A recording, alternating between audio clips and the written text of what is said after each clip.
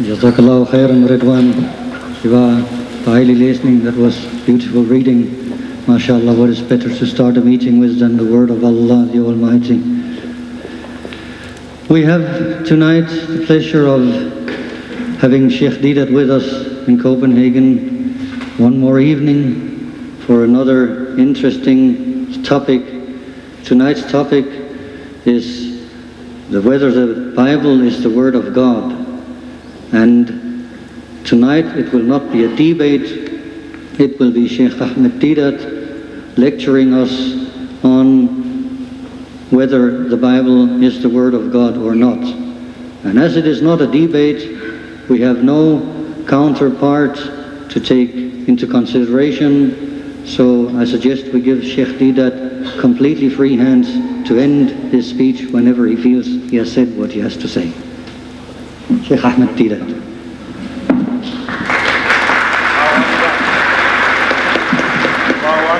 الله أكبر ولله الحمد. الله أكبر ولله الحمد. أعوذ بالله من الشيطان الرجيم. بسم الله الرحمن الرحيم. فويل للذين يكتبون الكتاب بأيديهم ثم يقولون هذا من عند الله. ليشتروا به ثمنا قليلا. وويل لهم مما كتبت أيديهم وويل لهم مما يكسبون صدق الله صدق الله العظيم Mr. Chairman, my dear brothers and sisters, the verdict has already been given. I read to you an ayah from Surah Al-Baqarah, from the Holy Quran, in which Allah Bari Ta'ala reminds us that woe to those who write the book with their own hands and they say, this is from Allah. لِيَشْتَرُوا بِهِ ثَمْنًا قَلِيلًا That they may reap some small benefit. وَوَيْلٌ لَهُم مِّمَّا كَتَبَتْ أَيْدِيهِمْ So woe to them for what the hands do write, وَوَيْلٌ لَهُم مِّمَّا يَكْسِبُونَ And woe to them for what they earn. The verdict is given by Allah that this is something that they have concocted with their own hands. But when we are reasoning with people, we have to reason with them. We can't just say, my book says yours is not from God, finish and over. No, we have to reason with them. So in reasoning with them, we may ask them, in answer to the question, is the Bible God's word? We say, which Bible are you talking about? You say, no, the Bible. I say, yes, what Bible? Look, I have on the table here one, two, three, four Bibles.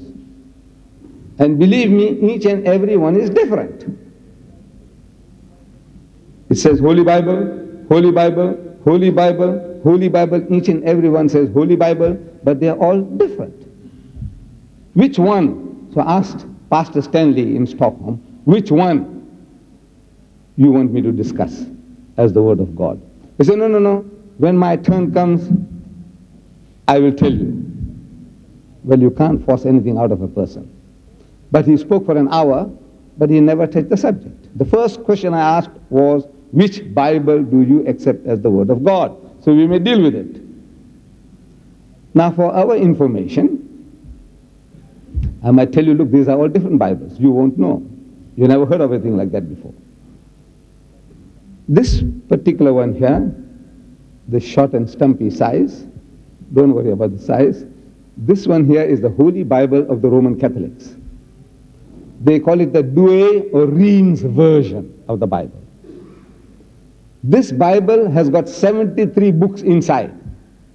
You might say chapters, they call it books. 73 books to make this one Holy Bible. And they say that between cover to cover, this is the Word of God. From cover to cover, inside all the contents is God's Word. This is the Roman Catholic version. This black one here is also the Holy Bible. This is the authorized King James Version, the Bible of the Protestant world. All those who are not Roman Catholics are called Protestants. They protested away from the Roman Catholic Church. Protestants. And this is the Protestant Bible. They call it the King James Version or the authorized version. Authorized by who? Not God Almighty, but by King James. This is authorized not by God, by King James. Now, in this Bible, there are only 66 books. The Roman Catholics have 73, this one has 66. Now see, that's a version. This is not the difference in translation, a choice of words. You use one word here and a little variant word there. No, no, no. It's got nothing to do with words. These are seven books in here that the Protestants took it out and threw it away.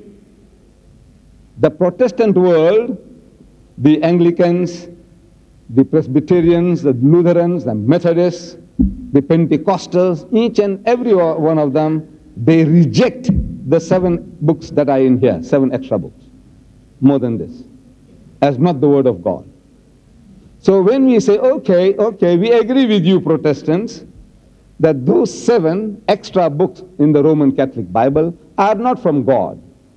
Now we are being attacked that we are saying that this is not the Word of God. I say, you tell us that in this book there are seven books which are not authoritative.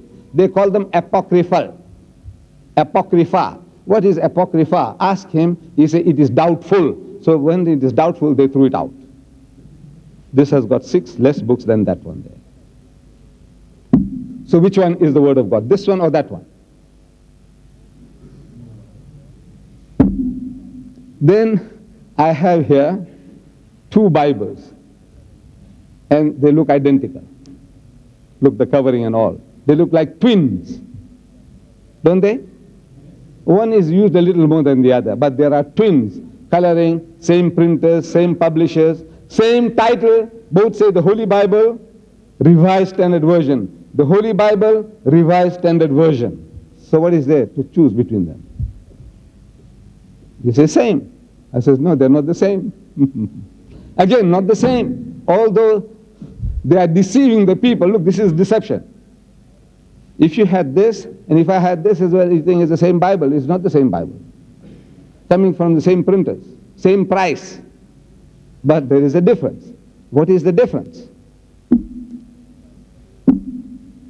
This is the Revised Standard Version. This was the authorized King James Version, accepted by the bulk of Christendom. Every translation in the vernacular, meaning in the native language of any nation, whether it is in Arabic, Urdu, Gujarati, Zulu, any language. If there is a translation, it is based on this one, the King James Version. Only in English you can get the revised version and the revised standard version. Not in the other languages. They only give you this one here. Now this one is a revised version, so they will tell you what is the difference. The difference between this Bible and the King James Version, this one also has 66 books. That one has got 66 books. But these will tell you, the publishers of this will tell you, that 32 scholars of the highest eminent, eminence in Christendom, 32, backed by 50 cooperating denominations, they went and produced this Bible. Christians, not Jews, not Muslims or Hindus, Christians scholars of the highest eminence, backed by 50 cooperating denominations with their support, they published the Revised Standard Version. What do they claim? They claim that this one here goes to the most ancient manuscripts. This one and the Roman Catholic version goes to the ancient manuscripts. They had manuscripts some four to six hundred years after Jesus. They call them ancient. This one here now, they have access to other older manuscripts, going back to the most ancient, that is two to three hundred years after Jesus. So the one closer to Jesus naturally will be more authentic than the one coming later on. It's common sense. If we had something given to us from the time of Jesus, in his lifetime, it will still be more authentic. If Jesus Christ had autographed put his signature onto the volume, it would still be more authentic. So this one goes to the most ancient. The other one goes to ancient, this goes to the most ancient. So when they get the most ancient manuscripts, they find that there are so many things in the accepted versions which are not there. What is in the ancient manuscript is not in the most ancient. So as such, they were honor bound to eliminate them, to eliminate those. later editions. Because as the days goes on, mankind has a tendency to add, to add his own explanations, his own ideas. So they said we must take out what is not supposed to be there. But before they do that, in the preface, they have something beautiful to say about this, the King James Version. They say that the King James Version has with good reason been termed the noblest monument of English prose. As far as language goes, in the English language, there is nothing comparable to it. The authorized King James Version of the Bible, as far as the language goes. It revises in 1881 express admiration for its simplicity, its dignity, its power, its happy tones of expression, the music of its cadences, and the felicities of its rhythm. It entered as no other book has into the making of the personal character and the public institutions of the English speaking people. We owe to it an incalculable debt.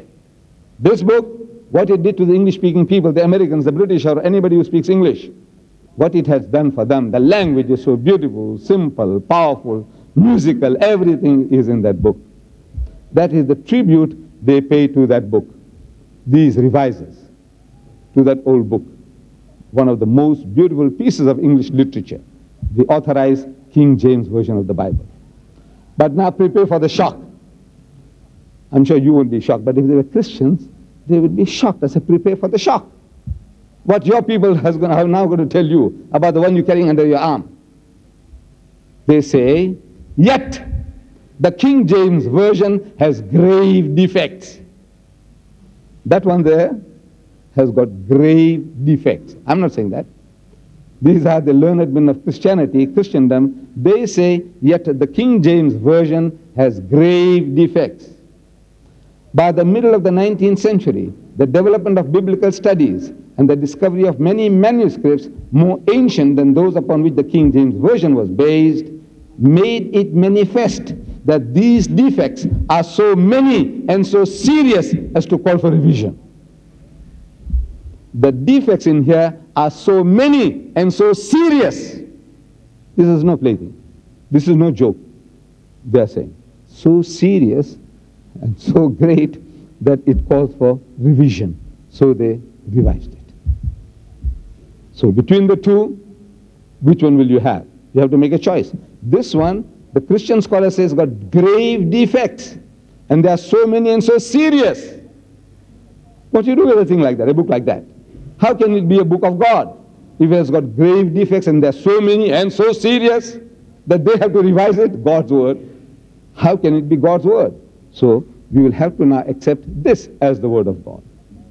According to the Christian theologians, that not that, this one and that one have a common source, out.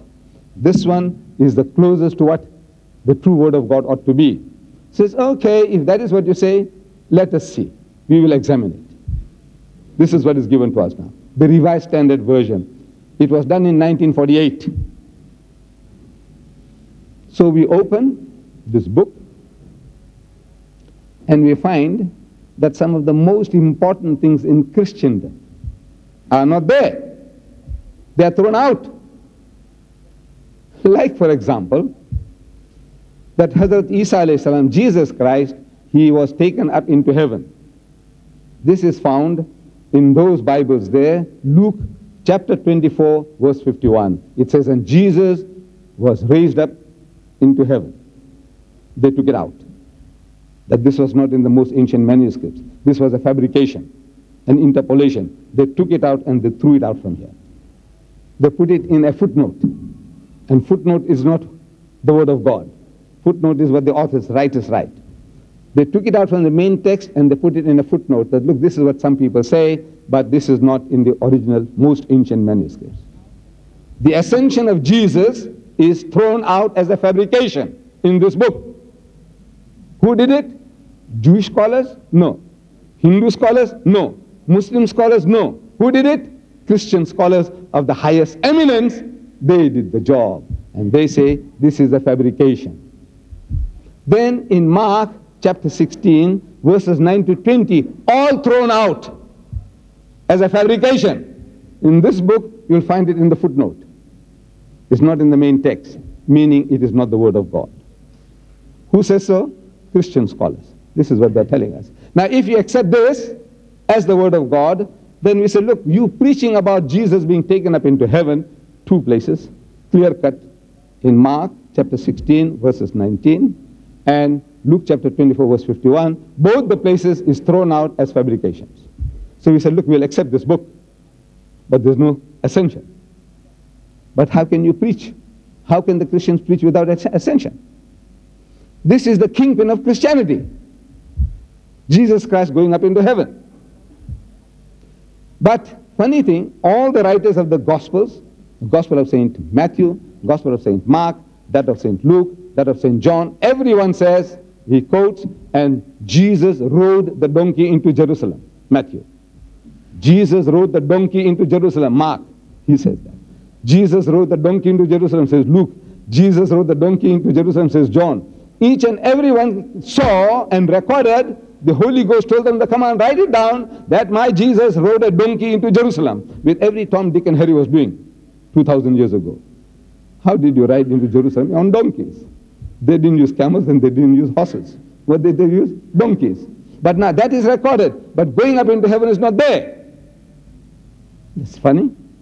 The Holy Ghost, can you imagine the Holy Ghost not inspiring the people to write about the Son of God going up into heaven? But this doesn't fail Make a note. Don't forget, my, my son rode the donkey into Jerusalem. My son rode the donkey into Jerusalem. Everyone makes a note. This Jesus Christ rode the donkey into Jerusalem, but nothing about going up into heaven.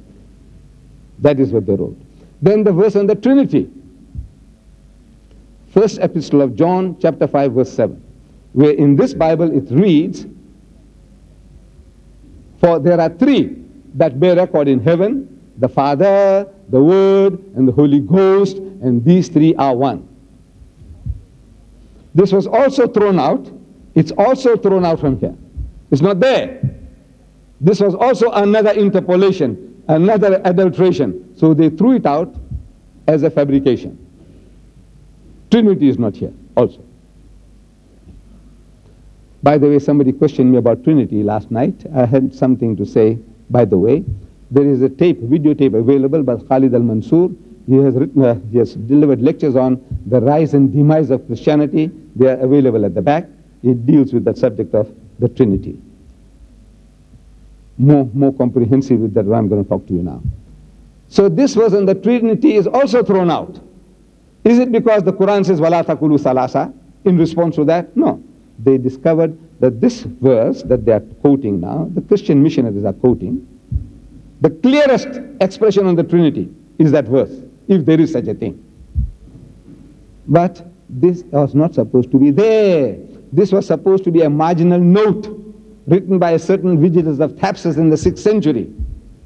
This man, he had these manuscripts and he made a note on the side for his own remembrance or his children's edification. He wrote the marginal note, for there are three that bear record in heaven, the Father, the Word, and the Holy Ghost, and these three are one. That's his own marginal note. Nothing to do with the main text. Nothing to do with the manuscript. Like we do in the books. We make our own notes. We make our own marginal notes. So this Vigilanus of Thapsus, he did such a job.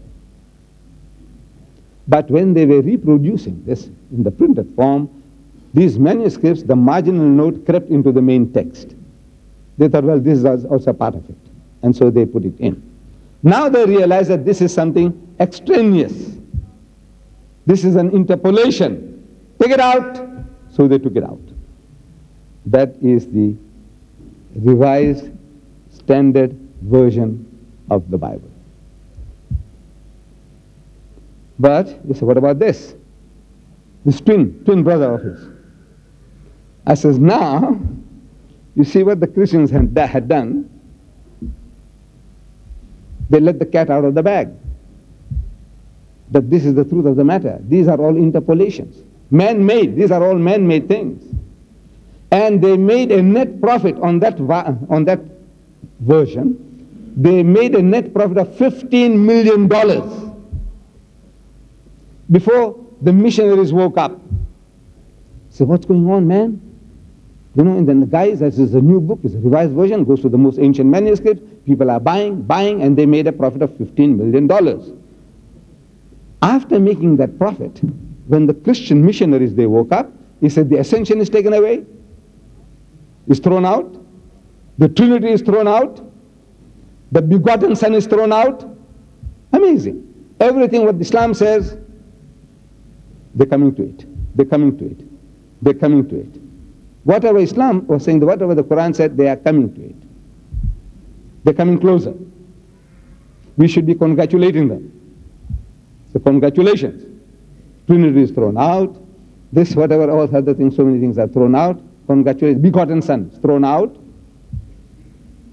So what they did was, they tell you here, 1971 they reproduced it. Therefore this looks brighter than the other one. They reproduced the same book. But whatever they had taken out, they put it back.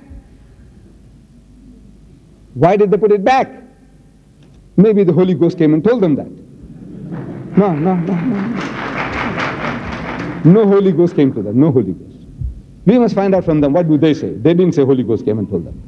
No Holy Ghost came to them.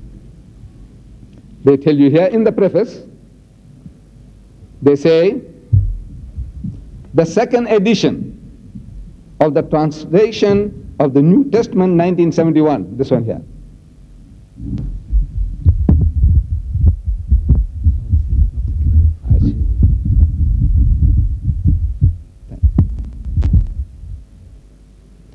The second edition of the translation of the New Testament, 1971, profits from textual and linguistic studies published since the Revised Standard Version, New Testament, was first published in 1946. From that one to here, they had access to some more manuscripts, further knowledge. Many proposals were, for modification were submitted to the committee. Many proposals were submitted to the committee for in, by individuals, individuals, and two church denominations. They said, look, man, this is no good. People are protesting. Ascension taken away from the book of God, it's no good. We will tell our people not to buy this book of yours anymore. So, Trinity taken out, we will tell our people not to buy the Bible anymore. And business is business. The customer is always right. Who said this? Not the Holy Ghost. No Holy Ghost came to them. It says here individuals and two church denominations, they made a big hue and cry, they made a big noise. So they tell you what they did. All of these were given careful attention by the committee. They were given careful attention by the committee. Two passages, the longer ending of Mark 16, 9 to 20, the ascension. And Luke chapter 24, verse 51, are restored to the text. They put back again. Who did it? God did it? Is this is his word? No, this is mankind. This is what they're doing all the time. The game that they're playing is a continuous game. Every minute they're changing by the minute. You can't imagine. You can't keep pace. As soon as you make a point, hmm, I made a point some years ago that in this Scofield Bible translation by Reverend Scofield, D.D., Doctor of Divinity, backed by nine other D.D.s. They are telling us in the first verse of the book of the Bible, Genesis, first book, first book of the Bible, chapter 1, verse 1, it says there, in the beginning, God created the heaven and the earth. And they give a commentary, these scholars. And in that, they use the word Allah for God, Elohim for God, and Allah, A-L-A-H, I was speaking last, last night, A-L-A-H, Allah for God. So I said, very good, very good. Now you are coming closer that the name of God Almighty is Allah. It's spelled out A-L-A-H. We spell it as A-L-L-A-H. I said, no man, how you spell, but you must pronounce the way we are asking you to pronounce our language. It is not Allah, it's Allah. Try, try, try. Allah, not Allah. So, next one that comes out, Scofield Reference Bible, by Scofield DD, backed by nine DDs, the word Allah is taken out. Now, how, how, how can you keep pace with them? By the minute, by the God, you, I just, you make a statement, they, they run to the press, they say, no, no, no, no, no, this Muslim follows, you know, they're going to take advantage of this, take it out, out it goes. And they call it the word of God. If it was word of God, how can you play fast and loose with his word? But in the hearts of heart, they know this is not the word of God, therefore they take all these advantages.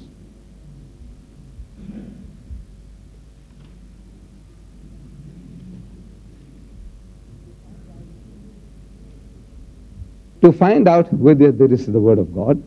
There is not a single statement, leave out statement. You see this word Bible. This word Bible is not in the Bible. They say from cover to cover. They're not talking about the cover. Between the covers, everything inside is the Word of God. I said, okay, this word Bible, where did you get the word Bible from? Is it in the Bible? Believe me, the word Bible is not in the Bible. No, the word Bible is not in any version of the Bible. You'll never find the Bible inside the Bible. Where did you get it? See, they got this from the Greek word biblos. Biblos means book. So, make it sound beautiful. It's a Bible. And write it the Holy, the Holy Bible. But the Holy Bible inside doesn't say this is the Holy Bible. The word Bible is not in the Bible. And yet you say the Bible is God's word. Where did you get the word Bible from? Whereas the word Quran is in the Quran. Qaf wal Quran al Majid. Qaf. But the Quran full of wisdom. Now, the word Quran is in the Quran. Word Bible is not in the Bible.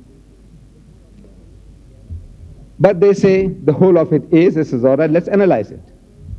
Is there anywhere in the Bible where God says, this is my book? Whereas Allah Ta'ala says, Ar-Rahman allama al-Quran. By Ar-Rahman, He is the one who taught the Quran. Allah speaks that this is His book. Tanzilul kitabi min Allah al-Aziz al-Hakim. That this is the revelation of the book, the Quran, from Al-Aziz, the exalted in power, full of wisdom, from Allah Ta'ala. This is His book. The Quran says again and again, this is His book, this is His book. The Bible, nowhere in this vast volume of 60, 73 books or 63, 66 of the Protestants, does it ever occur the sentence of the verse, this is the book of God. Nowhere. Welcome.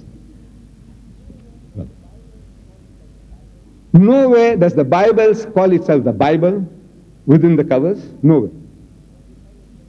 And nowhere does it ever say this is my book. God saying, This is my book. Whereas the Quran mentioned. The name of the book is Al Quran, and this is my book. This is my book, the book of God. This book doesn't say that.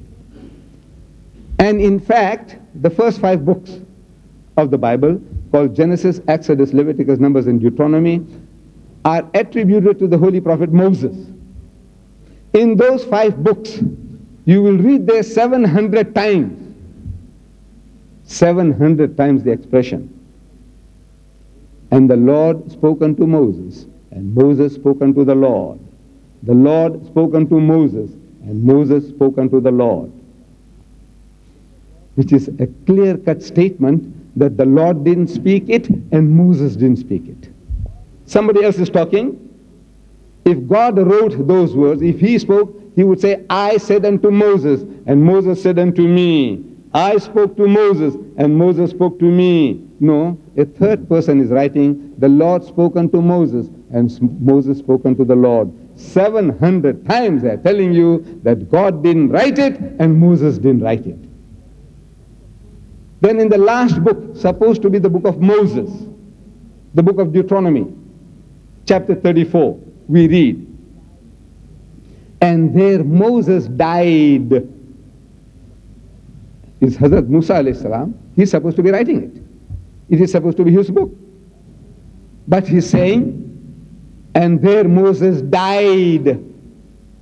He died in the past tense, in the land of Beth Peor, over against Beth Peor. And no man knoweth of his sepulchre unto this day. Up to today, nobody knows where he is buried. But he's not dead yet.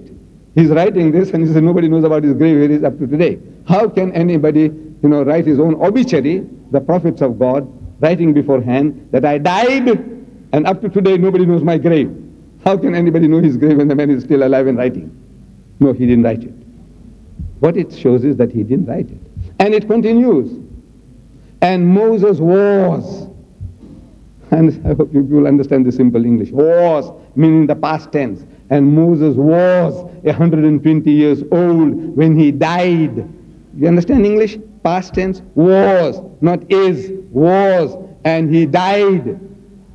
He was 120 years old when he died, but the man is still alive. And he says, when he died, he died, but he's alive, he's writing it. How can he write that?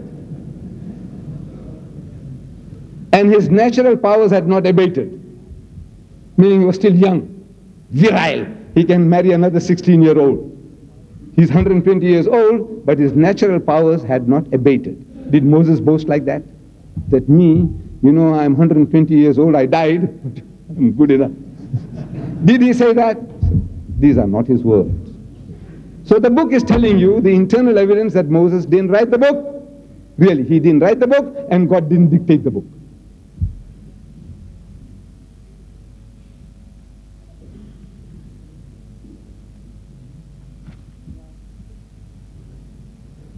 Now, the Christians, they believe that the Holy Ghost, the Holy Spirit, inspired the 40 authors of the Bible. But I would like to carry out a little experiment. And for that, I need somebody who can read the English Bible. We just want to compare, I just want to compare these two revised standard version of the Bible, whether they are identical. I would like somebody to volunteer, please, to come along and just open up. I say Isaiah chapter 37. Open it, and I read it from this one, Isaiah 37, and we want to see how close they are, whether they are faithful to one another. I'm looking for a volunteer. Somebody just to see what I'm reading, whether it's correct.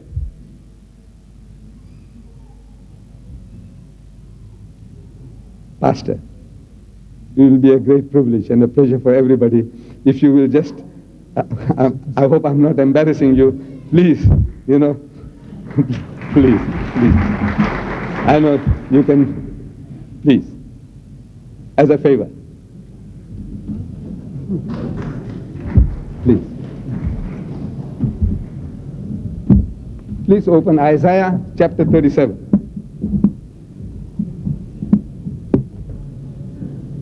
Isaiah 37.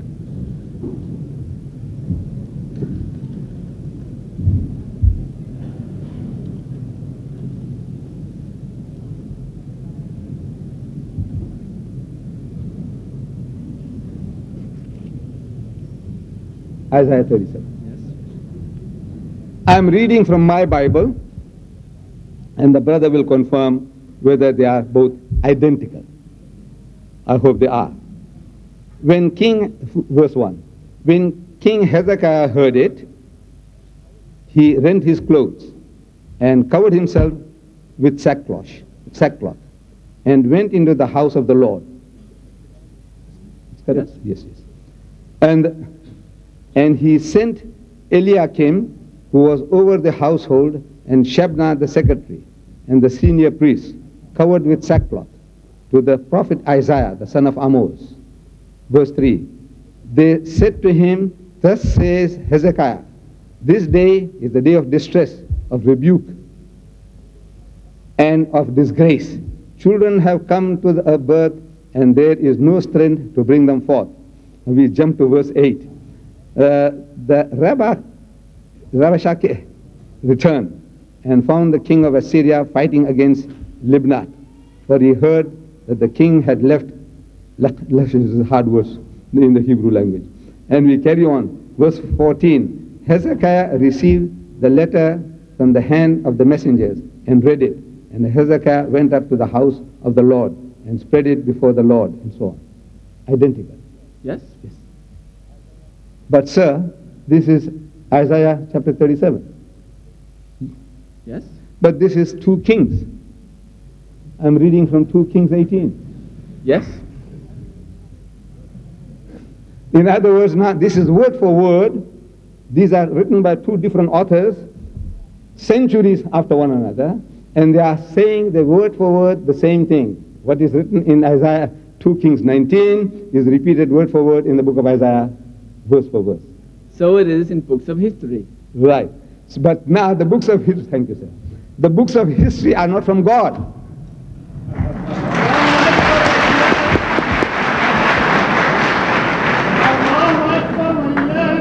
You see what has happened? Please, please. You see, the Christians do not believe in a verbal inspiration, as we Muslims believe.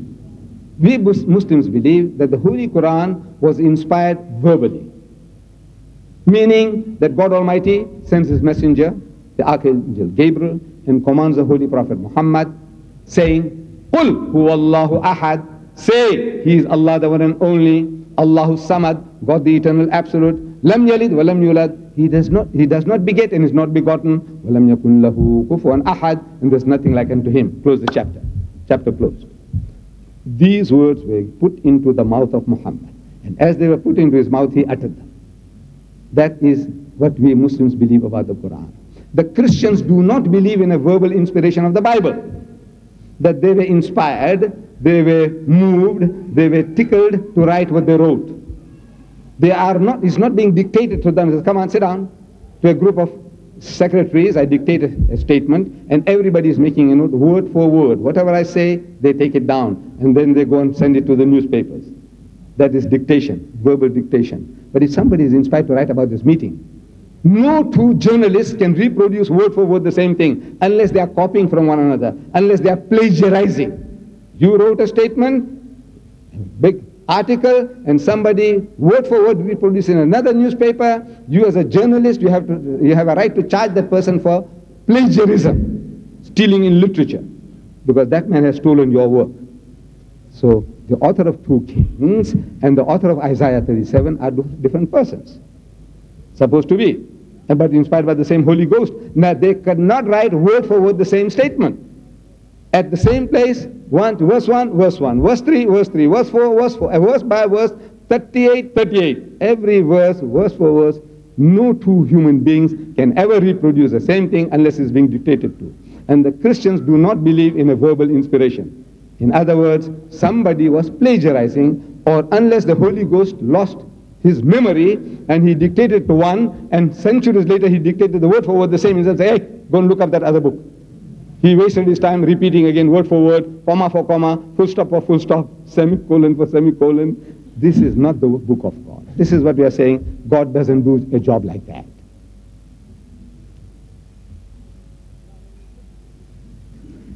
Now, when we take the books as they are, the books of the New Testament, each and every book begins at the heading, the Gospel according to St. Matthew the gospel according to St. Mark, the gospel according to St. Luke, the gospel according to St. John. Now, what is this according, according, according? Why according to? You know why? Because Matthew didn't sign his name, Mark didn't sign his name, Luke didn't sign his name, John didn't sign his name to those manuscripts. These are supposed to be. Therefore, we say according to. You have this booklet given to you. Is the Bible God's word? Each and every person is supposed to have received it. You have? Yes. If you look at it, it says Ahmad Deedat. Or you'll find other books saying by Ahmad Deedat. It's not according to Ahmad Deedat. According to, you can write anything. It says, you know, Mr. Deedat said this, that, that, and then you create your own imagination and you fill in, and it says, according to Mr. Deedat, such. I said, no, I didn't say that. I didn't mean that. This is what you can hold me responsible for. This is my book. But according to Matthew, according to Mark, according to Luke, according to John, that means Matthew didn't write it, Mark didn't write it, Luke didn't write it, and John didn't write it. This is what people say. This is what people think. And J.B. Phillips, J.B. Phillips, he wrote the Gospels in modern English. You see, these English that they are using is archaic, old-fashioned. And the modern young men, they find it difficult to grasp. So J.B. Phillips, a prebendary of the Chichester Cathedral in England, meaning a paid servant of the Anglican Church. He wanted to do a good job helping the younger generation. He knows Greek, so he goes first hand to the Greek manuscripts and he rewrites the Gospels in modern English, English that the ordinary young men will understand. But in his introduction to the Gospel of St. Matthew, he says about the Gospel of Matthew, this is what he says. A paid servant of the church.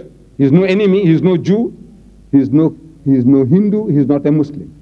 As a paid servant of the church, these are his statements. He says, early tradition ascribed this gospel to the apostle Matthew.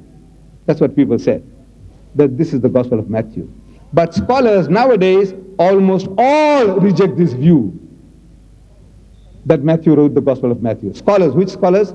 Christian scholars, almost all, not Hindu scholars or Jewish scholars or Muslim scholars, Christian scholars, almost all reject the view that Matthew wrote this book. He says the author, the author, whom we may still conveniently call Matthew, what else can we do? What else can we do? If I were to give you a reference, it's a Matthew 9 9.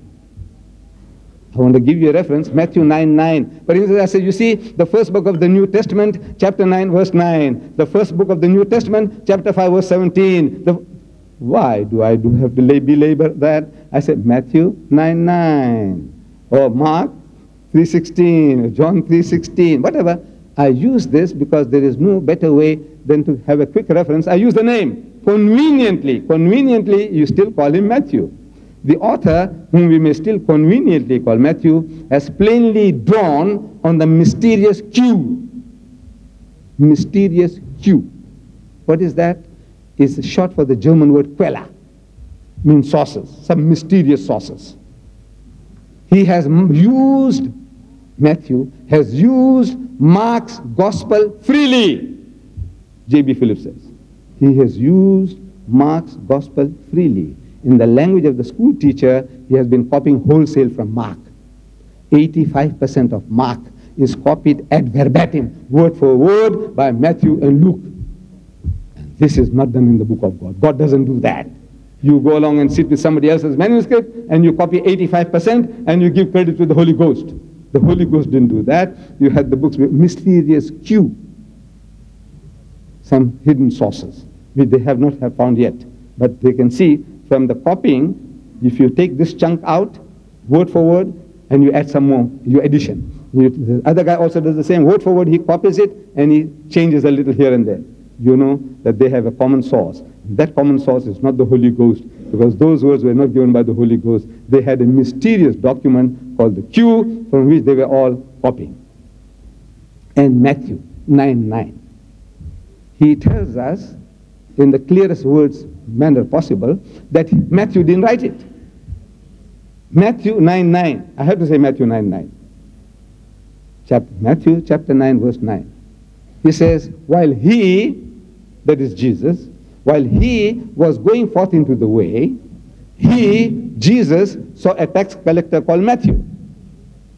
He, Jesus, came up to him, Matthew, and said unto him, Matthew, follow me, Jesus, and he, Matthew, followed him, Jesus. Did Matthew write that? Could Matthew have written anything like that? If Matthew wrote it, he would have said, while he, Jesus, was going forth into the way, he saw me at the tax collector's table, and he came up to me and said, Follow him, and I followed him.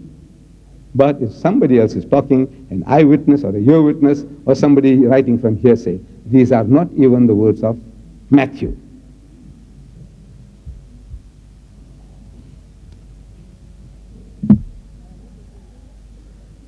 Now let us get it from the horse's mouth. The gospel writers themselves we find in the Gospel of St. Luke, St. Luke tells us in the clearest language humanly possible how he got this thing written down. He says, Luke says, inasmuch, chapter 1 of Luke, verse 1, inasmuch as many have taken in hand to set in order a narrative of those things which are most surely believed among us, verse 2, just as those who from the beginning were eyewitnesses and ministers of the word delivered them to us, it seemed good to me also. It seemed good to me also, having had perfect understanding of all things from the very first, to write to you an orderly account, most excellent Theophilus. No Holy Ghost, no Holy Spirit coming to him. He said, I've seen others doing it. And Luke, being a physician, he is one of the most learned of the writers of the New Testament books. He sees that if every Tom, Dick, and Harry, man, this semi-educated fellows, if they can write accounts of my Lord Jesus, why can't I do a better job? So I will make an orderly, he's telling you what he's going to do. I'm going to put it in order. The others are not in order. It's here, there, everywhere, hodgepodge. He said, no, no, no. I, because of my education, I'm able to put an orderly account to educate his most excellent Theophilus. He's dedicating to a, a, a, a new convert, a Greek. God doesn't do that. Dedicating his work to a Greek, new convert. But this is what Luke tells us that this is how he got it. He saw others doing it like people get inspired. We all get inspired. How? Something inspires you. see a boxing match and you say, from now on I'll become a boxer. You are inspired. But that's not from the Holy Ghost. There was a time when I was getting inspired. I also wanted to become the heavyweight champion of the world. Around the 30s. See? Joe Louis was the champion boxer, heavyweight champion of the world. And I get the Ring magazine from America regularly, boxing magazine. And I see his statistics. Joe Louis, the brown bomber. So I take his statistics and I put myself against the wall and I mark it out. Reach, reach, 72 inches. Joe Louis, 72 inches. Ahmad Deedat, 72 inches. Height, well, I think I was about half an inch or quarter inch shorter than him. Biceps, no comparison. But I said, I'll do plenty of exercise and I'll fill it up. Hmm? Height, okay. Weight, that guy is 200 pounds. I'm only 148. I said, mm, I'm going to eat plenty of butter and do plenty of exercise, and I'll also. This is inspiration. I'm inspired to become a heavyweight champion of the world. But I know, you know, thank God, I changed the route. I did something else. Then, going to the cinemas, I see a film. Ginger Rogers and Fred Astaire, the tap dancers. I says, man, that's great. You know, cut, cut, cut, cut, cut, cut, cut. You know, this is beautiful. I says, man, look at it, how easy they're doing it. And they're moving and they're flying. Right, I must do the same. So I see a comic in which there is a course is offered, tap dancing. So I write, I send my money to America. Thank God that the course didn't come. Otherwise, I wouldn't be standing here before you. Inspired. You see, inspired. We all get inspired. But this is not of the Holy Ghost. See, the Holy Ghost doesn't inspire these things. See, that type of inspiration, Luke was, Mark, Matthew, they were inspired, yes, but not from God. This inspiration, we all get it at all times, but they are not infallible. Now, if we analyze the internal evidence about the birth of Jesus in the Gospel of St. Luke, chapter 3, verse 23, it says, Now Jesus himself began to be about, I'm reading, about 30 years of age when he began to preach. God is inspiring, supposed to be. It's from the Holy Ghost. And the Holy Ghost didn't know how old Jesus was. God didn't know how old his Jesus was. He said, about 30 years old. Ah, you can guess about my age. You have a right. I have a right to guess your age. But I will say, this gentleman here is about 55 years old. I say, you are about 45. And you are about 60. About, about, because I'm human.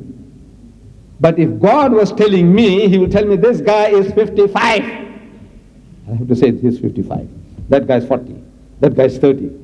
I don't say about, about, about. I know that this is human. The human being, he can't take a chance. He can't afford to make a mistake. So he covers himself up by saying about 30 years old. Not God. This is not the word of God. If it is the word of God, God will say he was 30 years old, my son, when he began to preach. But again, another shocking thing. He started to preach at the age of 30. God Almighty, they say, Jesus is God, like last night you heard. Jesus is God. This God Almighty, after billions of years in hibernation, I don't know what he was doing with Father, Son, and Holy Ghost as the Christians. They were all three together. What they were discussing and what they were planning, God alone knows. And he comes into the world, and from birth to the age of 30, he didn't say one word that could benefit mankind. Not one word. Can you imagine? Up to the age of 30, he didn't utter a single word that's recorded anywhere in any Christian literature. One word to help mankind. What was he doing? Playing marbles? Doing carpentry? God Almighty? Nothing else to do? Nothing better to do? The mankind is going astray. His people are going to the dogs. The Jews. He calls them hypocrites. You generation of vipers. You whited sepulchres. Not all of a sudden. They were there all the time from his childhood, from his birth up to the age of 30, he saw the problems all around him, but he didn't utter one word. So, he says, when he began to preach, he was about 30 years old. Now, when he began to preach, in the modern translations of the same book, they took the words, when he began to preach, is taken out. Because now people will ask question, what was he doing for 30 years? God coming down to earth and for 30, years, 30 years he does nothing? Ahmad Deedat, the great lecturer, he comes to Copenhagen and he stays here for 30 years and he doesn't make a single statement. Can you, can you imagine? Huh? A man, I'm coming here for 30 years in Stockholm or here and I stay with you people for 30 years and didn't make a sound. And I'm supposed to be, Jesus was supposed to be God Almighty coming down to earth. And for 30 years, he didn't do one stitch of work for God, according to the records. It's recorded nothing who being the son of Joseph. That's what Luke says. Jesus is the son of Joseph. Joseph the carpenter is his father. That's what the book says. But you have the words written in brackets as was supposed. Luke didn't write them. You ask any Christian who's got any knowledge of theology that the words in brackets in the Bible are the words of the translators the editors. They try to help you, that maybe you might not grasp the full meaning. So they put the words in brackets. As was supposed are put in brackets. In the English Bible, in the Revised Version, the words as was supposed are in brackets, meaning they are not the words of Luke. Luke didn't write them. If Luke wrote them, that means they will be without brackets. Because that is the word of God, because God was supposed to have inspired him. But no, they know that Luke didn't write them, so they put the words in brackets. That's the system. We also adopt the same system. We want to explain something, we put the words in brackets, our own words. Our translators do the same. Nothing wrong with that. But now you take the Swedish Bible, you take the Danish Bible, the words as was supposed are there, but the brackets are removed. You know what it means? Once you remove the brackets, they become the words of Luke. And if Luke was inspired, they become the words of God. So they are minting God's word by the minute. You don't have to wait for the Holy Ghost, they can do it. The printers, you just tell them, put the words in, and then take the brackets out with the brackets. They are honest. But then read in the words and remove the brackets. And this the Christians have done in every language of the world except English. Because the Englishmen understand what bracket means. Maybe the Danes don't know what brackets means. The Swedes don't know. The Urdu speaking people don't know. The Zulus don't know. The Africans don't know. They are all little children. The rest of mankind in 2,000 different languages of the world, they have translated the Bible. But in 2,000 different languages, you'll find the words there, but the brackets not there. Because all fools, they don't know what brackets mean. But the Englishman knows. So he retains the brackets. Can you imagine the game that is being played? So they are minting God's word by the minute. One stage, you are honest, you say it's not the word of God in brackets. Then you leave the words and you remove the brackets, minting them as God's words. George Bernard Shaw, one of the great British playwrights, he says that the Bible, he says, that the Bible is the most dangerous book on earth He says, keep it under lock and key. Your children must not have access to it. George Bernard Shaw. And the Plain Truth magazine, a Christian magazine originating in America, the Plain Truth, they say reading Bible stories to children can also open up all sorts of opportunities to discuss the morality of sex.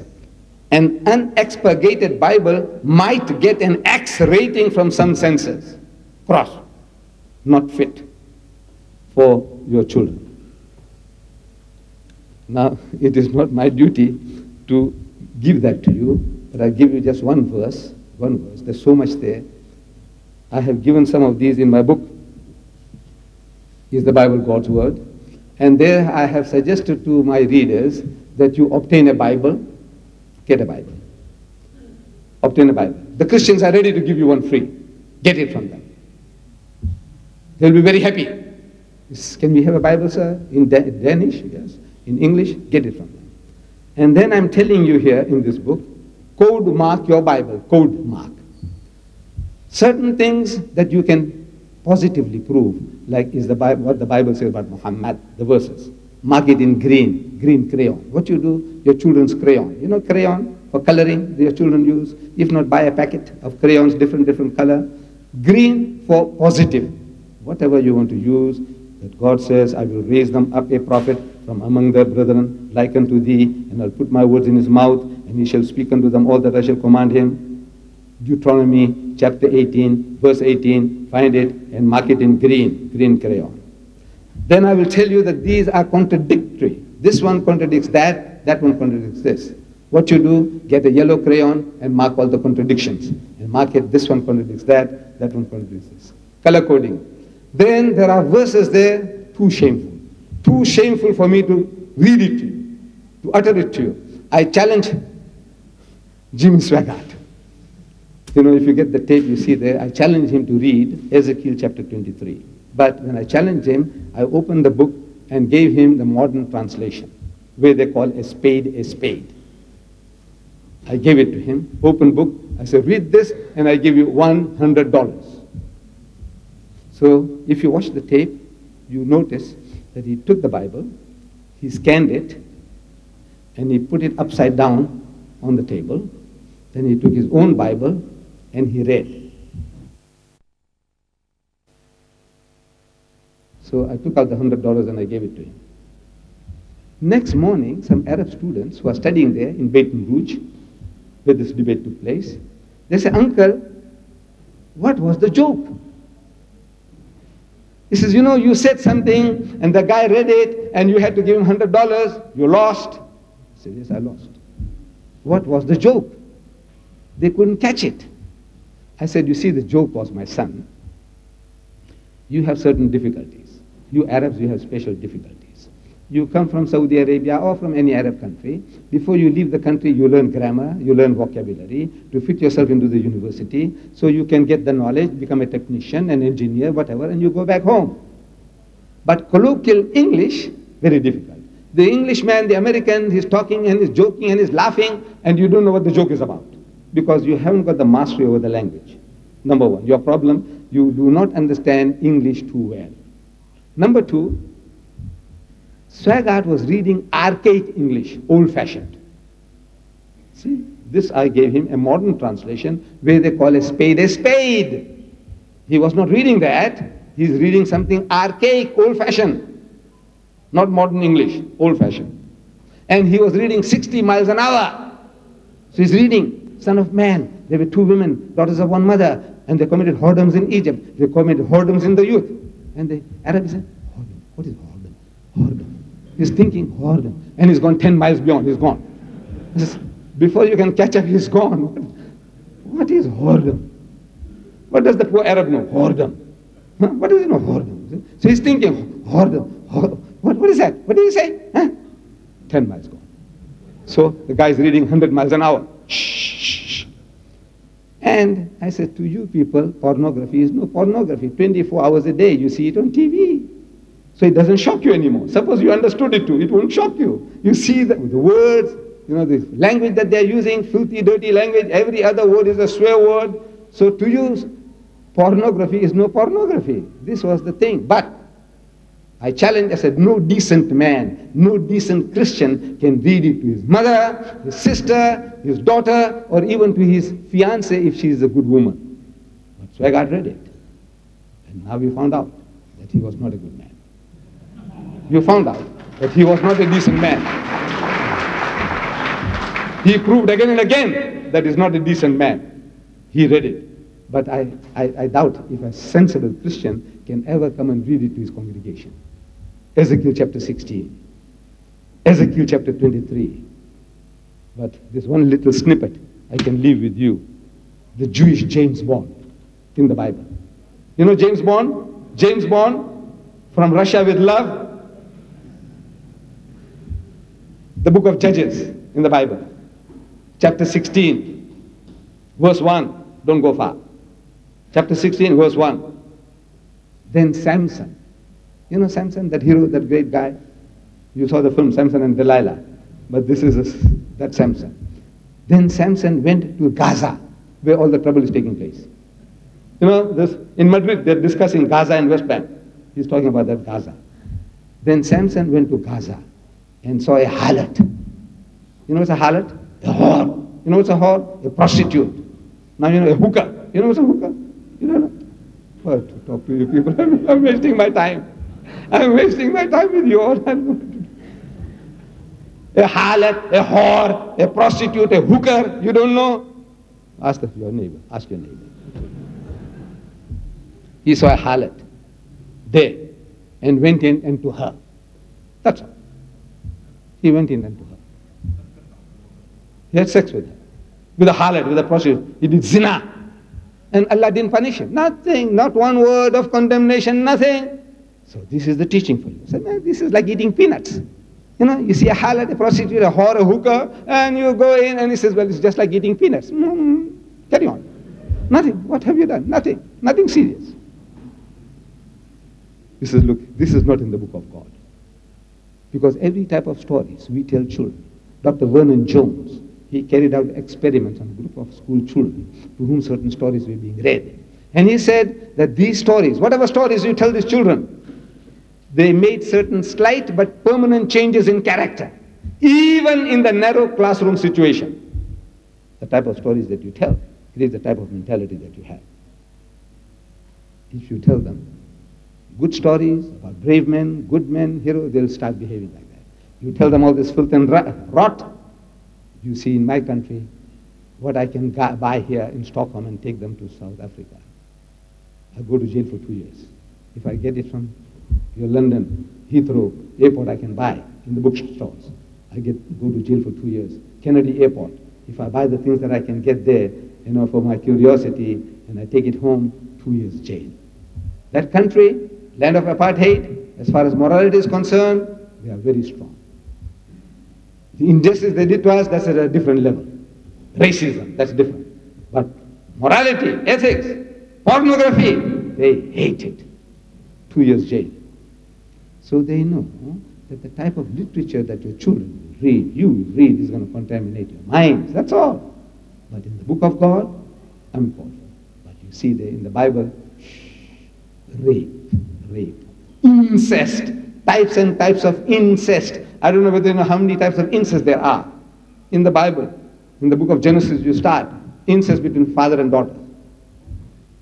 Then, still in the book of Genesis, the first book of the Bible, between son and mother. Then, still in the book of Genesis, still in the first book, you find father-in-law and daughter-in-law. What kind of book is this? Incest after incest types and types of incest. You don't know how many types of incest can take place. Go to the Bible and you'll get them. All different types of incest. You don't have to write, read another book on sexology to find out the types of incest that you can commit. This is in the Holy Bible. References are there. Then this book describes God in a very, very shameful manner, blasphemous manner.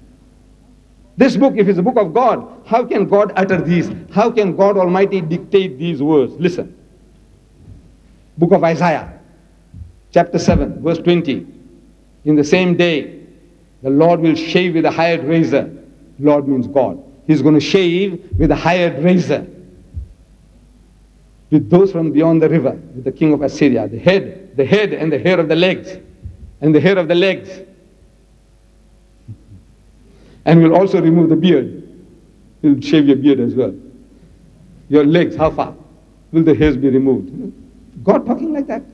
God dictating that God is going to do that. He's going to shave with a higher razor. You know the cutthroat razors there.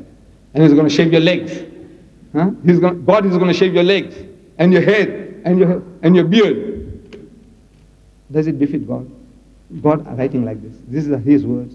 Astaghfirullah. Hmm. And some more. Smoke went out from his nose. 2 Samuel, 2 Samuel, chapter 22, verse 9 to 11. Smoke went from his nostrils. You know, when you smoke and you, you take out smoke from your nostrils, well, God is big, so all smoke must be coming out from his nostrils, you know, from his nose. And devouring fire from his mouth, like the dragon. You see the Chinese dragon, and you see the fire like a flamethrower. They use it in, the, in World War One. Flamethrower. You know flamethrower? You see the flame going. So something came out from God's mouth. Listen, listen, I'm only reading. He says, and devouring fire from his mouth. Coals were kindled by it. You know, coal, pile of coal lying, and the flame goes out and shh, and set the coal on fire. He bowed the heaven also and came down with darkness under his feet. He rode upon a cherub. God Almighty, he rode upon a cherub and flew. You know what is a cherub? Cherub, cherub. They have it in the Vatican. I've been there to the Vatican the holiest holies in Christendom. And this is the picture taken in the Vatican, the holies of holies. This is the cherub. There are two cherubs there in marble, flesh color. Please don't take photos of this, because in Arab countries this tape will be banned. You can see it. This is actual photo taken from the holies of holies, the Vatican. There are two beautiful young ladies, young, crisp, well proportioned, flesh color, smooth as silk, absolutely naked, but with wings. There are two there, pair, one facing the other. And if you ever put your hand over that marble, you will get an electric shock.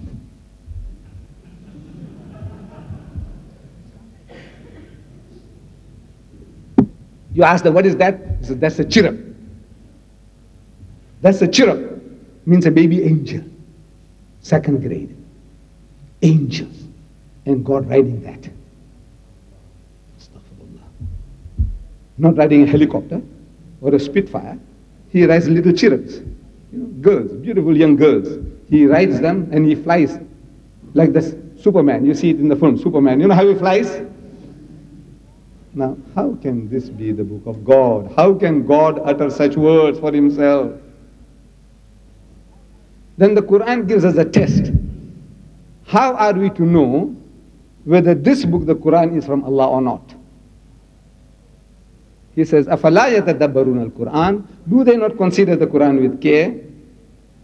وَلَوْ كَانَ مِنْ إِنْدِ غَيْرِ اللَّهِ Had it been from anyone other than Allah, لَوَجَدُوا فِيهِ اخْتِلَافًا كَثِيرًا You will have found in it many discrepancies, many contradictions, because no human being can ever remain consistent in what he's preaching all his life. We change by the minute. According to the circumstances, we change our standards, our principles. We are human. No human being can remain constant for 23 years of his prophetic life. No human being can. Unless he's guided by God. It's only God who's talking, he can be constant. No man can be. Different vicissitudes of life, problems of life, man changes. He makes compromises. This is the test which Allah wants you to apply to the Quran. If you are doubting that this is not this is Allah's kalam, then apply the test. Go and check it up, see if you can find contradiction therein. And you will not find any contradiction. So the same test we apply to the Bible. The test Allah gives us, we apply to the Quran, we apply to the Bible, whether it is Allah's kalam. And I'm reading now from the book of Chronicles, first Chronicle chapter 21. It says, And Satan stood up against Israel and provoked David to number Israel. Shaitan, he instigated, not the Holy Ghost. Shaitan instigated alayhi salam to go and take a census of the Jews. That's what the book says. One author of the Bible. There are 40 different authors. One of them say, Shaitan is responsible for alayhi salam taking a census of the Jews. Another author, 2 Samuel chapter 24 says, And again the anger of the Lord was kindled against Israel, and he moved David. Lord means God. God moved David. And he moved David against them to say, Go, number Israel and Judah. Who instigated David? One author says, Shaitan, the devil, and the other says God. And God and Satan are not synonymous terms in any language. Shaitan is Shaitan and Lord is Lord. Who inspired David to do such a thing of numbering, taking a census? Who? God or the devil? They have to make a choice. First Samuel chapter 28 verse 6 says, And when Saul inquired of the Lord, means he wanted to know information from God. Lord means God. The Lord did not answer him. Allah didn't answer him. Neither either by dreams or by Urim or by prophets. He didn't answer him.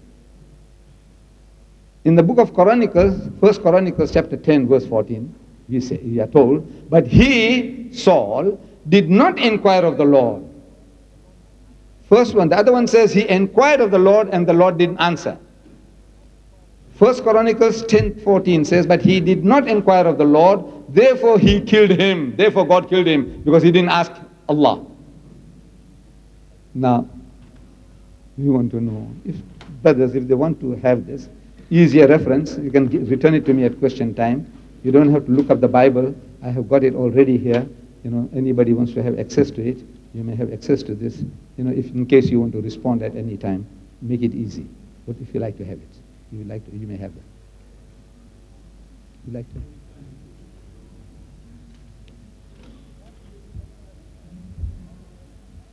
One King, chapter 7.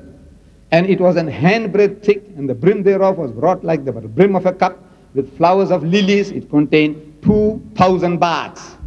It contained 2,000 baths. Very clear? 2,000 baths. 2 Chronicles, chapter 4, it says, and three, same thing, 3,000 baths. Was it 2,000? The Holy Ghost is inspiring one author to say 2,000 baths he had. The other one, he says, it was 3,000 baths. The difference is only 50%. Take this. What was it, 2,000 or 3,000? 2 Chronicles, chapter 9, verse 25. It says, And Solomon had 4,000 stalls of horses, you know, stable, stable for keeping horses. How many? 4,000. In the book of Kings, 1 Kings chapter 4, verse 26, it says, And Solomon had 40,000 stalls of horses. Was it 4 or 40? He said, oh, this difference of just a zero. I said, no, no, there's no zero. The Jews didn't know zero. They knew zero about zero when these books were written. They learned it from the Arabs, and the Arabs learned it from my forefathers, the Indians. Zero. Zero, they learned it from the Indians, the Arabs, and they passed it on to Europe. But the Jews didn't know zero. They wrote in words 4,000, 40,000. They didn't know about zeros. Was it 4 or was it 40?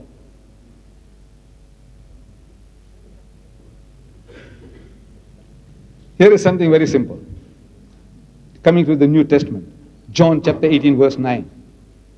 Jesus says that the saying might be fulfilled which he spoke, words of Jesus. Of those whom you gave me, I have lost none.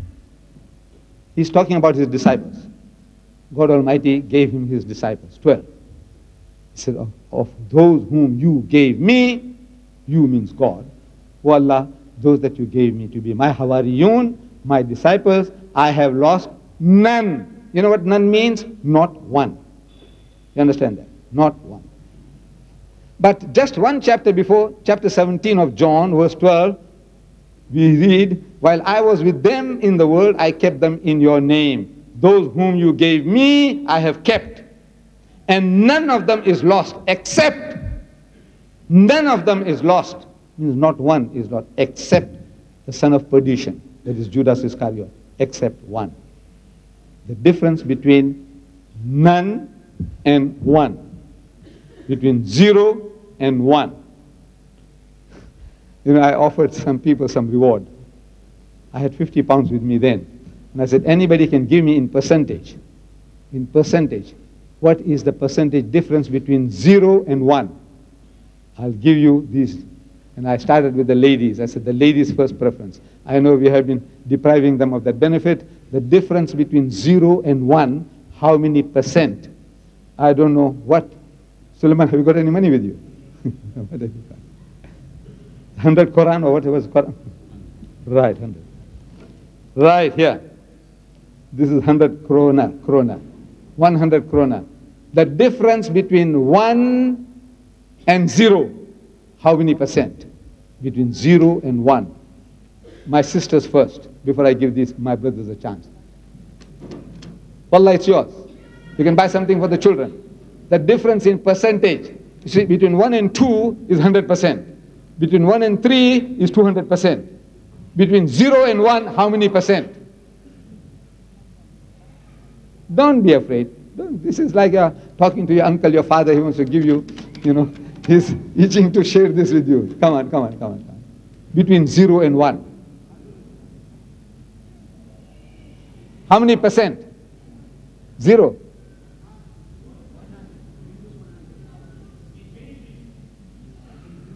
Come on now, you. Huh? Who said infinity? This is yours. You can have it. To him. Infinity. It is such a huge difference, it's unimaginable. Between nothing and one, this unimaginable, infinite. There's an infinite percentage. Remember that. One day you'll win some quiz. Is infinite. My dear brothers and sisters, it looks like I have barely started. I'm just getting warmed up. But I don't think it's, I don't think it's fair to you all. I would rather leave now this meeting open, open for you to ask questions on what I have spoken or any other matter relating to the subject of comparative religion. I give you that latitude to come forward and uh, you can ask your questions. وآخر دعوانا الحمد لله رب العالمين.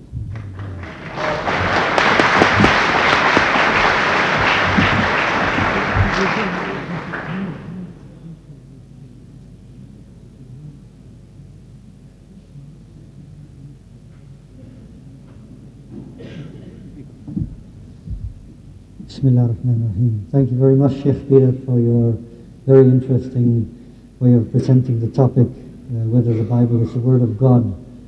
I'm certain there must be an abundance of questions waiting to be put forward to you. And uh, now, as Sheikh Deedat said, the scene is open for questions from the audience. You asked for questions, that is why I'm hesitating, because I rather have some responses. But let me try to find a question out of it. Yes. You know, I'm sure, that as highly as you place the Quran as the Word of God, we place Jesus as the Word of God. Because the will of God can be expressed in a book, but the person of God can only be expressed in a person. That is why we say Jesus is the perfect Word of God. The Bible, we say, is a book made by man and God.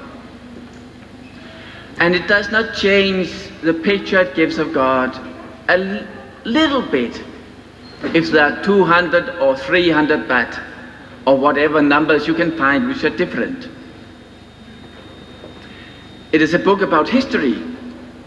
It tells about people, real people, sinful people, and it condemns what is wrong. More and more clearly, and most clearly in Jesus, we hear how he condemns what is wrong. But it knows how people are and describe how people are, as sinful as they are. But what the Bible teaches about God, we praise that as the Word of God, with the authority of God. And no, I cannot make it into a question, but maybe you have a response anyway.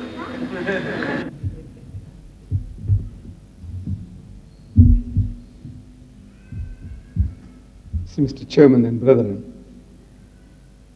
our brother has set a hard task. It's really a hard task. He is not asking a question because whatever I said is unquestionable. You can't question it. When I said, look here, coming from the same source, Jesus, he lost one or none. Is this both words from God? He said, none means not one, and he said only one. Did he know that or not? The difference between one and none, which is infinite degree.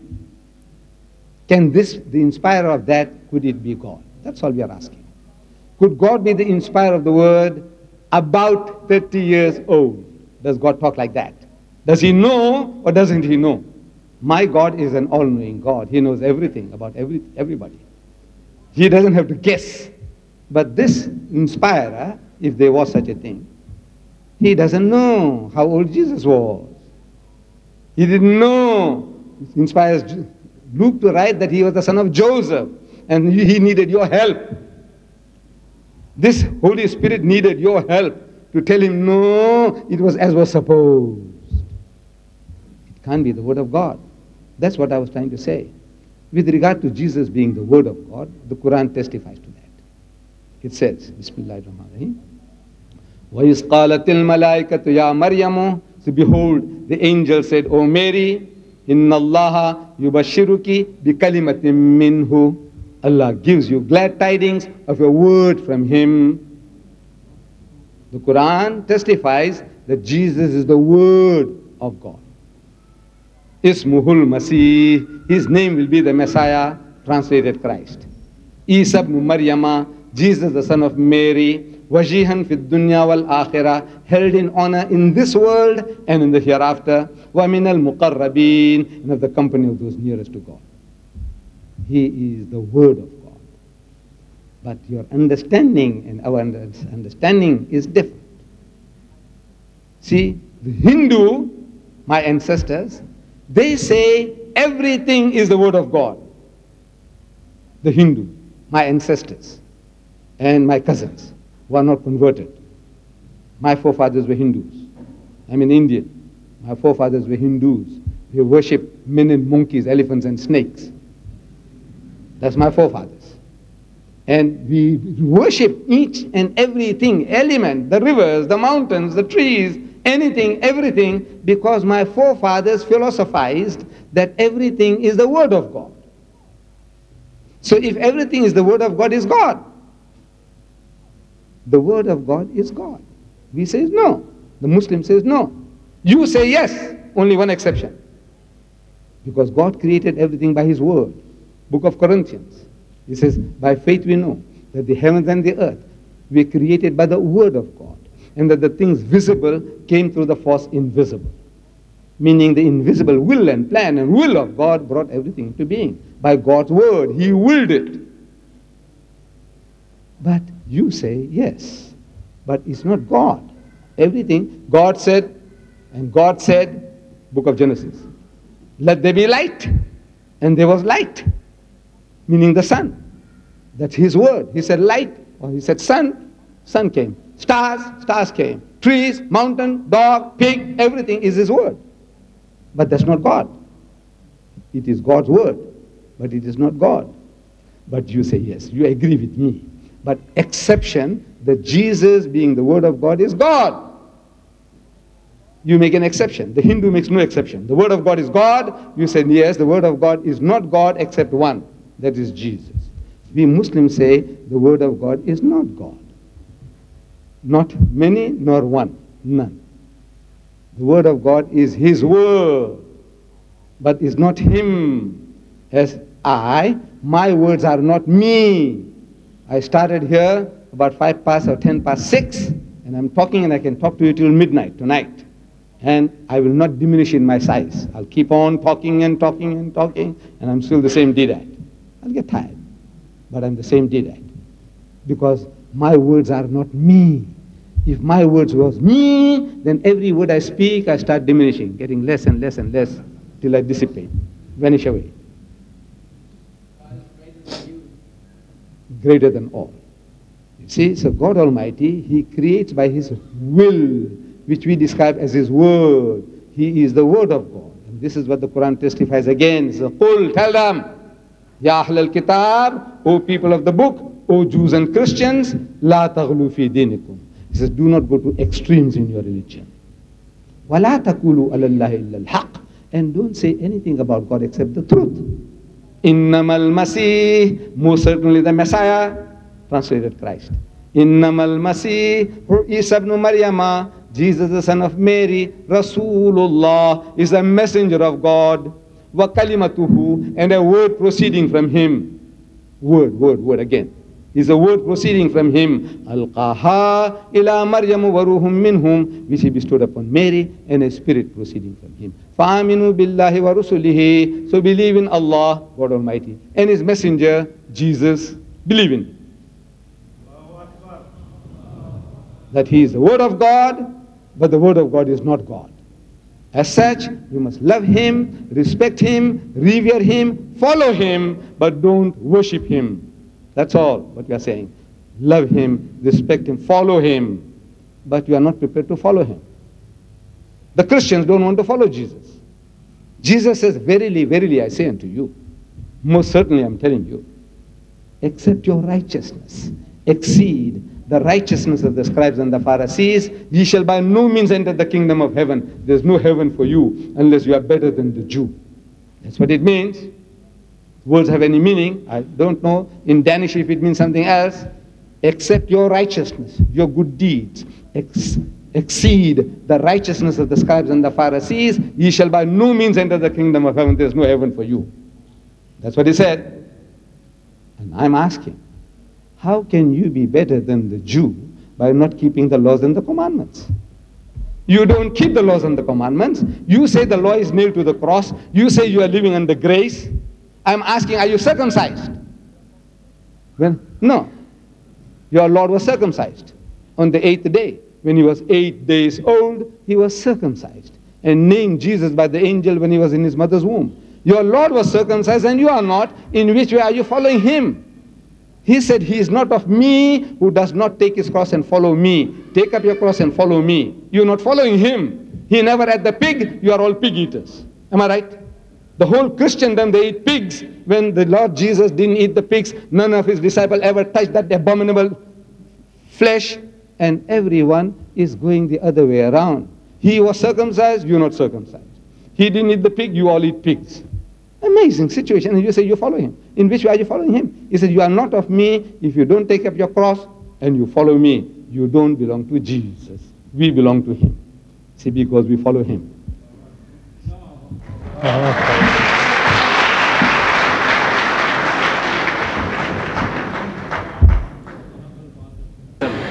Jesus said, Not what gets into your mouth make you filthy, but what get out of your mouth make you filthy.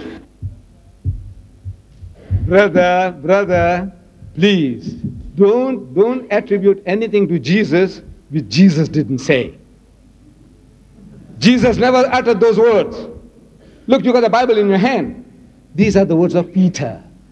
Peter said that.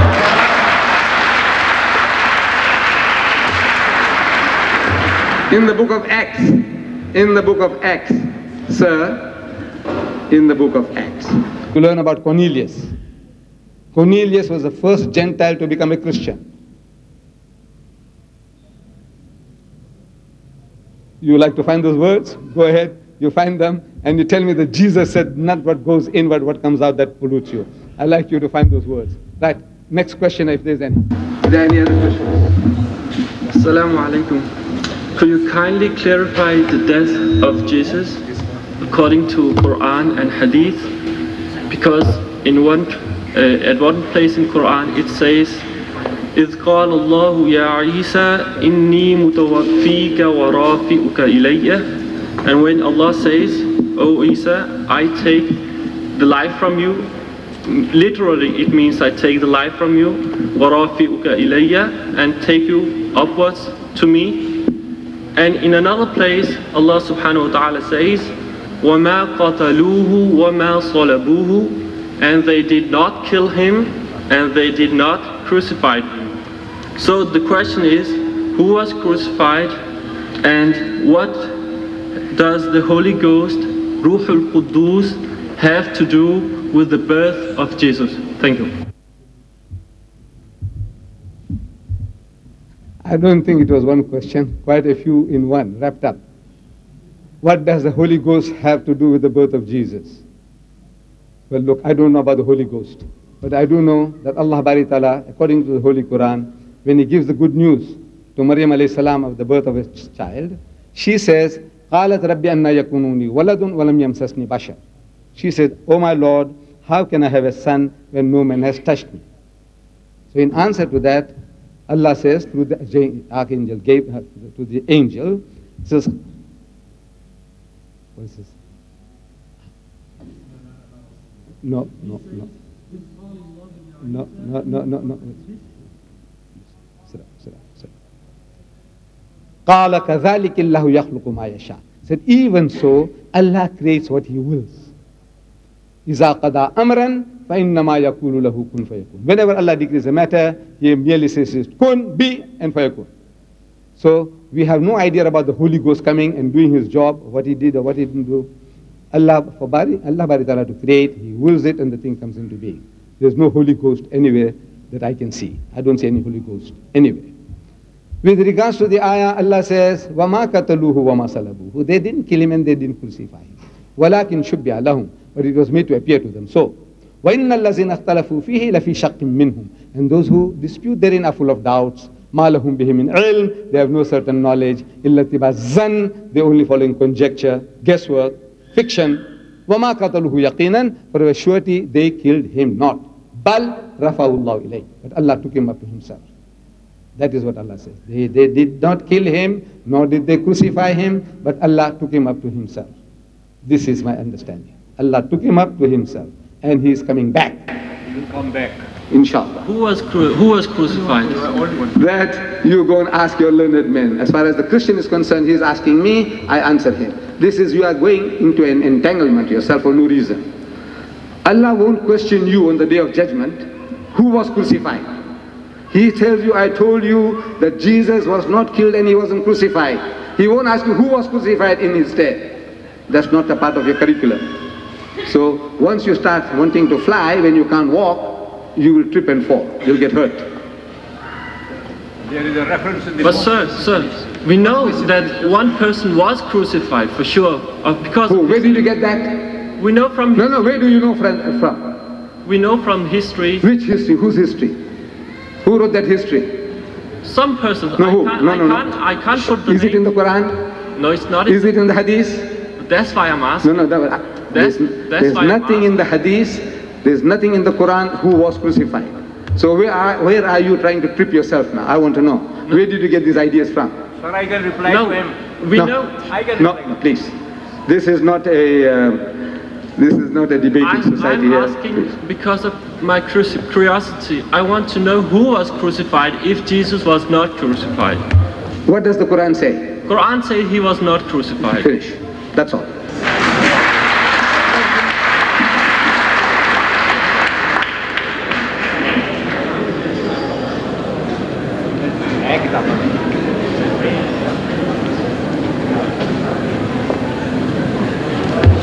Uh, sir, I must respect and acknowledge your, your knowledge of the Bible. You know a lot more of the Bible than I know of the Quran, for sure. Um, I believe that as a Christian, I have something to learn from the Quran. As far as I uh, recall, Islam means submission under the sovereignty will of God. And uh, actually, that's my way in believing the Bible as the Word of God, to submit under the authority of God. You have um, mentioned a number of difficulties in the Bible, and actually, I could supply you with a lot uh, greater number of difficulties, which disturb me too, as a Christian. But my way to believe that still the Word of God is um, I can't question the authority of Jesus as the Word of God. He acknowledges the authority of the Scriptures, of the Old Testament. Um, he claims them to be infallible. Um, still, I have difficulties with it, but I have to submit under his authority.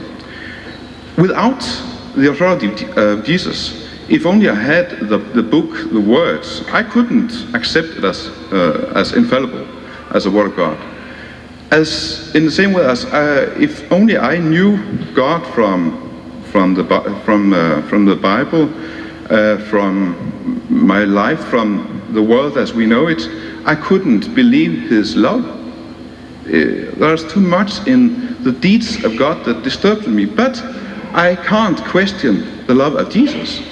I have to, I have to uh, acknowledge that He knows, uh, He's the expert of love.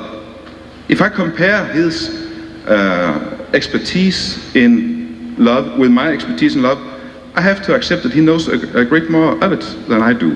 He knows uh, the way of inspiration uh, in the Bible that I don't, I don't know. And I have to submit under his authority, uh, both as he uh, uh, claims the Bible to be infallible and he claims God to be love. Uh, so even though I could uh, supply you with a great number of difficulties, of which some I could answer and some I can't, uh, a lot of your, your um, things I couldn't answer. Uh, there are others I could, but uh, still, that's not um, my uh, way of accepting the, uh, the Bible as God's word. I have to submit under His authority. Thank you. Uh, thank you for your contribution you know, to the topic this evening. With regards to that idea of submitting to His will, I also believe that we must submit to the will of Jesus. Because He is not His will, is not His will. He says, The word ye hear are not mine. But the Father that sent me, He had given me a commandment, what I should say and what I should speak. Even as the Father had said unto me, so I speak. So whatever He gives, if Jesus Christ gave you a word, if He told you, eat the pig, by all means, you can eat the pig. Because He was a man of God and He won't tell you any lies. So we are to follow Him. If you are following Him, I say follow Him. To follow Him now, He's telling you what to do. He's telling you, Verily, verily I say unto you, except your righteousness exceed the righteousness of the scribes and the Pharisees, ye shall by no means enter the kingdom of heaven. There's no heaven for you. You're wasting your time. You say, No, I believe in his blood. He didn't say blood. In Matthew 11 11, a learned man of the Jews comes to him and he says, Good master, what good thing must I do to gain eternal life? So Jesus rebukes him. He said, Why callest thou me good? There is none good except the one that is God. But if thou wilt enter into life, keep the commandments. If you were that young Jew, and if you were told, keep the commandments, what are the commandments? Everything that's given to you in the Old Testament.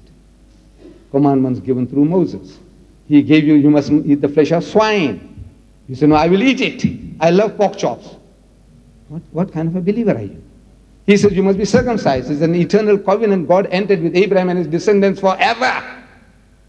You said, I'm not circumcised. Why aren't you? He said, The law is nailed to the cross. Is that what Jesus said? Jesus says, Think not that I am come to destroy the law or the prophets. I am come not to destroy but to fulfill. For verily I say unto you, heaven and earth shall pass away, but one jot or one tittle shall in no wise pass from the law till all be fulfilled. One jot, jot, in the Hebrew language is the smallest of the Hebrew alphabet. Not even that amount is to pass away from the law. But you have done away with oh, the whole law. So, in other words, you are not following. Jesus says, follow the law, keep the commandments. But you say the law is nailed to the cross. I'm asking, where did you get it? This idea of the law is nailed to the cross. You say Philippians, Galatians, Corinthians, Thessalonians. I say, who's that? You say Paul, Paul, Paul, Paul. I want to know who is your Lord and Master. You say Jesus. I say, what does Jesus say? Jesus is telling you, I have yet many things to say unto you, but you cannot bear them now. That's what he told his disciples. You haven't got that capacity. You are like little children. He's telling his disciples, but you cannot bear them now. Howbeit, when he, the Spirit of truth, is come, he will guide you into all truth. For he shall not speak from himself. But what things so shall he hear, that shall he speak. And he shall declare unto you the things that are to come. He shall glorify me. Shouldn't you be looking for him, the Spirit of truth, who will guide mankind into all truth? We have so many problems affecting us, the whole world. Problem of racism, problem of alcoholism, problem of surplus women. What did the Holy Ghost tell any church in 2000 years? We are asking for solutions, and they are not there. I said, Spirit of truth is Muhammad. He's given you solution to all your problems. Come, let us reason together. Let's reason together, and you'll find that the Spirit of truth that you are thinking about, talking about, is the prophet of truth. The word spirit is used synonymously in the Bible for a prophet. In the first epistle of John, chapter 4, verse 1, you read there, Beloved, believe not every spirit, but try the spirits whether they are of God. For many false prophets have gone out into the world. The false prophet is a false spirit, the true prophet is a true spirit. How are we to know the true from the false? A test is given to you. Is that the spirit that confesseth that Jesus is the Christ is of God? Am I right? Is that a valid test? You are being given clear cut, simple, basic English. The spirit, the prophet that confesseth, that says, that accepts that Jesus is the Christ is of God. Am I reading correctly? Muhammad says, Jesus is the Christ. Masihu Isa ibn Maryama. Christ Jesus, the son of Mary. 1,000 million Muslims of the world, they say Jesus is the Christ. That spirit that moved Muhammad to say that is of God, according to the test given in your own Bible. But now you're not prepared, it's not going down well. Listen, the trouble is, we are children of prejudices. We are all. We are subject to our programming. And the programming does not allow us that freedom to say, let's see now, let us analyze. What is this man trying to teach you? Muhammad, what is he trying to tell you? What did he tell you that is getting stuck in your throat? We want to know.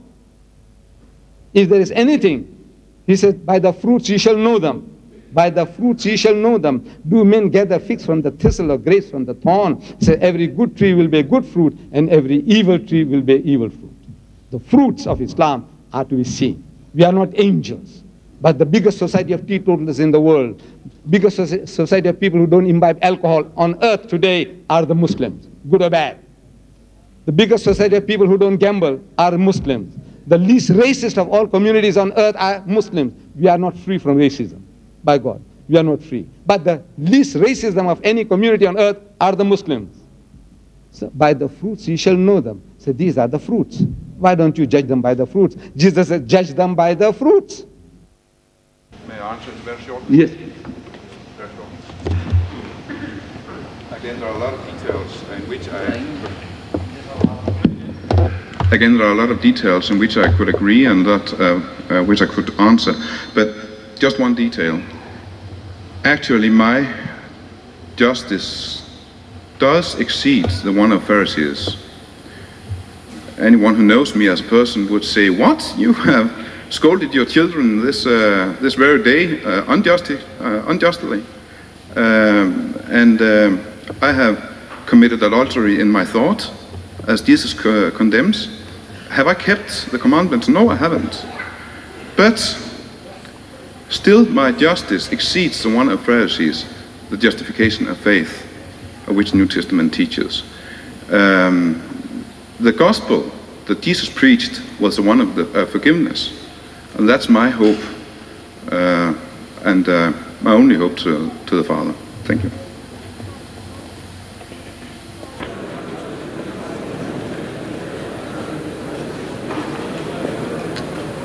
Yes, uh, from the debate yesterday and uh, from the lecture today, I understand and I think the audience agrees with me that uh, you'll be studying the Bible very intensively and uh, also Bibles from different times. Uh, do you see any convergence in the revisions? I can't understand what, you're saying. Well, I mean, uh, the different revisions which have taken place from old time and until now, do they lead to somewhere, to somewhere special? Is there any uh, special reason for these revisions over time? Where do, where do they want to lead us? The people who are trying to revise the versions of the Bible. They are trying to make things easy for you. From their point of view, they're trying to make things easy for you. That's what they're trying to do. But what we were proving was that this is not how God works. That your church committees, individuals, they don't form God. That's not the word of God. When they tell you what to do, what not to do, take this out, put this in. So we are try- trying to prove to the audience that that is not the word of God when you do those things. What they are trying to achieve is they're trying to make things easy for you. So you may accept it far more easily. That's the only reason for it. You ask them. You ask them. No, no, not here What, now. saying no? You, you go to his church and you find out from him.